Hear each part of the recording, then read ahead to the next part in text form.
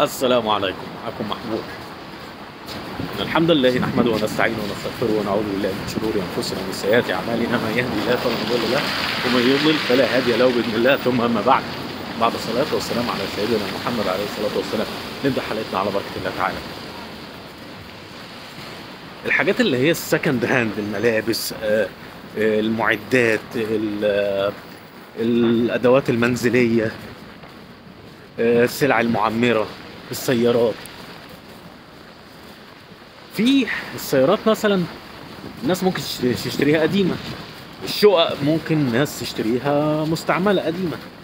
لكن ملابس تليفونات آه، سلع معمرة ثلاجه غسالة مايكروويف فرن حاجات كده. أعتقد في ناس كتيرة من العرب لحد الآن ما يقدرش يشتري مستعمل. الحاجات دي. إلا إذا كان غلبان قوي. أو محتاج قوي أو مزنوق قوي ما بقولش ما فيش بس يعني قليل. لكن في روسيا الوضع اختلف. بعد بالذات بعد سقوط الاتحاد السوفيتي. الحاجات المستعملة بقى سوقها رائج جدا بالذات الملابس والموبيليا. طبعا السيارات حدث ولا حرج. بالعبيط السيارات يعني.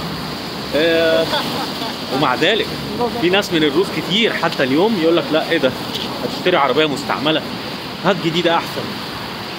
مستعملة هتكلفك هتشتري آه، ثلاجه قديمة. هتبوظ منك بعد شهر. اشتري جديدة أحسن. يا عم الفرق آه، كبير. 10000 روبل زيادة. يقول لك وماله؟ أنت الكسبان. فزي ما العرب عندهم ناس كتيرة ما بتحبش تشتري مستعمل؟ روسيا برضو فيها ناس ما تقبلش المستعمل بتاتا ولكن الناس دي قليلة. ومش فارقة على فكرة هم أغنياء ولا فقراء لا دي عقليات وذهنيات وأمزجة. وعادات عاداتهم كده. في ناس بقى يعني وسط. أحكي لك على الوسط ده لما نخش الوسط بقى المول اللي قدامنا وصلت المكان اللي بقول لكم عليه عايز ادخله الناس ماشية بتتزحلق بتتزفلط الزحلقة والزفلطة بقى بقول لكم مهما كنت لابس جزمة عاملة إيه لازم تتزفلط. أجواء النيو يير.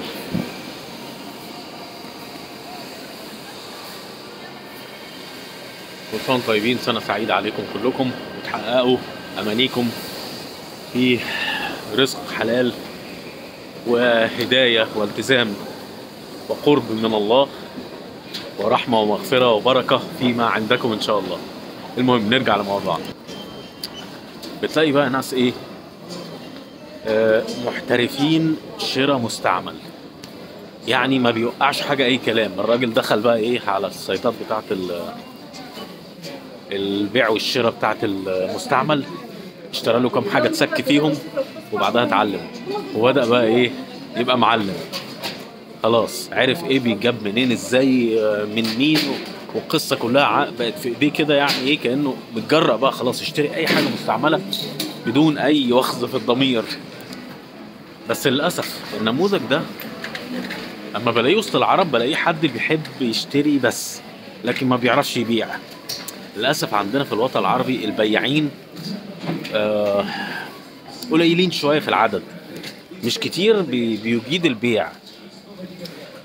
بالذات في بلد أجنبية. يشتري؟ حلو قوي ويعرف يفاصل أحيانا ويبقى شاطر ويوقع حاجات كويسة. وقاعد كل يوم على السقطة واللقطة. أي بضاعة تنزل لقطة يلقطها على طول. آه، جاكيت جزمة آه، كاب آه، نظارة سماعة كمبيوتر. كل حاجة مثلا لسه نازل إعلانها النهارده الصبح. على الظهر بيكون كلم صاحب الحاجة ويقول له أجي أخدها منك إمتى. وعلى فكرة في منهم بس مش كتير. آه، بس بقى من الروس بقى. بيشتري ويبيع. ده شغلته بيشتري الحاجة لقطة ب 1000 ب 2000 ب 5000 ويبيعها بعد كده إيه؟ ب 11000 14000 16000 وممكن من غير ما يعمل فيها حاجة من غير ما يلمسها. هي نفسها كده سابها قد شهر كده سعرها غلي راح بيعها وكذلك الناس اللي بتشتغل في تجارة الهواتف المحمولة. ففي ناس هنا في روسيا سابوا شغلهم واشتغلوا الشغلانة دي. شغلانة إيه؟ تجارة المستعمل. أشتري مستعمل وأبيع مستعمل. يقول لك أنا خلاص استكفيت. أنا كل اللي أنا محتاجه عندي. أي حاجة بشتريها بتبقى لقط بقى اللي هو معاه كاش وبيبيعها مثلا بسعر أعلى شوية. من على نفس ال site Avito مثلا آه، OLX مثلا جوميا أي حاجة أي ازون ما أظن في ناس بتبيع فيه ملابس مستعملة. ملابس فات موضتها بقى لها خمس خمس سنين وست وست سنين ست سنين وسبع سنين. ف إن الشعب الروسي يكون أو الشعب الأوروبي عموما كل أوروبا مش بس روسيا إنهم يبقوا ينفين كده ولا ما أجيبش مستعمل. لا لا ده كان زمان وحتى عمره ما كان زمان. لا في جزء كبير من الشعب بيتعامل في المستعمل وعادي جدا ولا غضاضة وضميره مرتاح. ف بالذات الناس اللي بتبيع وبتشتري. لكن الناس اللي بتشتري مثلا واحد معروفة قوي انت عرب كتير بيروحوا على سبيل المثال مثلا هولندا ولا ألمانيا. فجيرانهم الهولنديين أو الألمانيين يقولوا لهم أنتوا بتشتروا جديد ليه؟ ده غالي جدا. يقولوا لهم ده من ايكيا ده رخيص. ولو غالي برضه. يقول لهم امال نعمل إيه؟ فبتوريهم السايت جارتهم. بصوا على السايت كده فيلاقوا إيه؟ سجادة وترابيزة ومكتب. ب 24 يورو على بعض.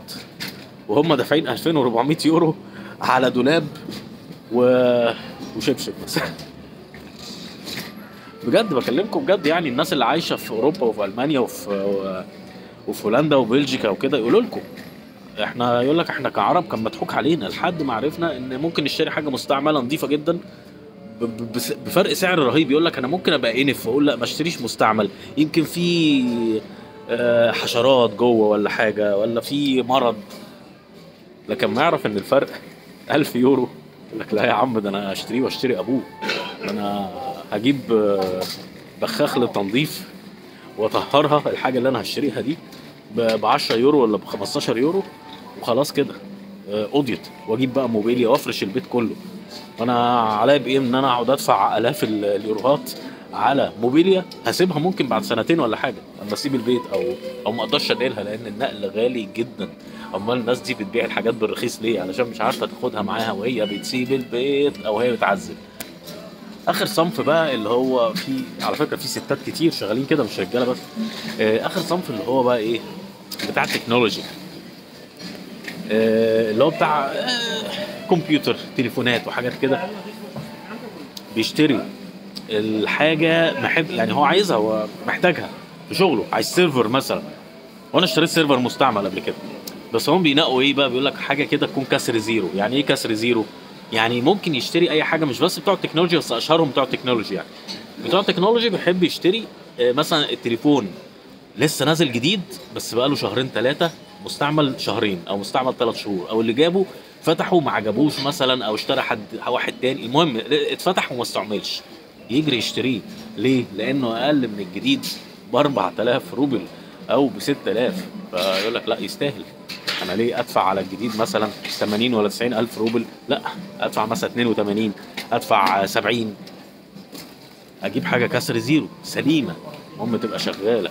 ما بتوع هم بتوع technology فبيقدروا يشيكوا على الحاجة ويعرفوا هي إيه آه، سليمة ولا لا. وحقك برضه في الأول وفي الآخر. المهم هي دي آه، حياة المستعمل والناس اللي فعلا عايشة على المستعمل في أوروبا ولا يعيبهم ولا يضرهم شيء. حكيت لكم كده نفحة عن الأصناف والأنواع وال... وأفكارهم إيه. ويحزنني إن العرب معظمهم بيشتروا بس ما بيبيعوش. لو تفعل التجارة دي صدقني ممكن تجيب لك ربح إضافي كويس جدا حتى لو ربح قليل. آه، هي بس وجع دماغها كتير لما الناس تقعد تتصل بيك وعايزة تشوف البضاعة و و و. لكن غير كده هي تجارة في الأول وفي الآخر.